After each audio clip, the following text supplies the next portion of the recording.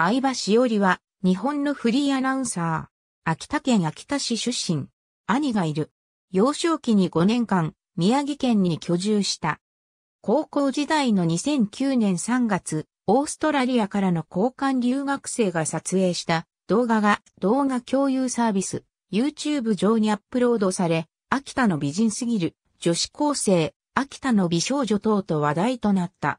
秋田県立秋田南高等学校卒業。中学校は大仙市立大曲中学校卒業。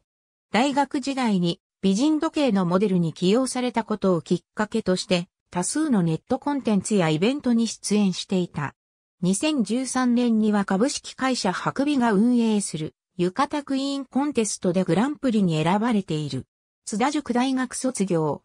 2014年に静岡県静岡市に所在するサトゥブ、静岡朝日テレビに入社。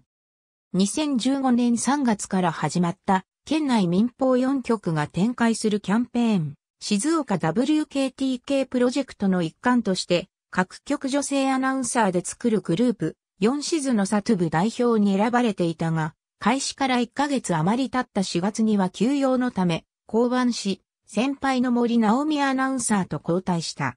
同年8月からはアナウンサーとしての通常業務に復帰したが、翌年の2016年2月29日をもって、サット部を退職した。2016年3月以降はフリーアナウンサーとなり、3月23日には Facebook 上で秋田県の企業が展開する秋田美人モデルの企画、もっきりに口づけのボリューム023に登場した。現在は主に地元の秋田県の AKT 秋田テレビや ABS 秋田放送での番組レギュラー出演、秋田県のラジオ局での出演、及び県内外でのイベント MC として活動。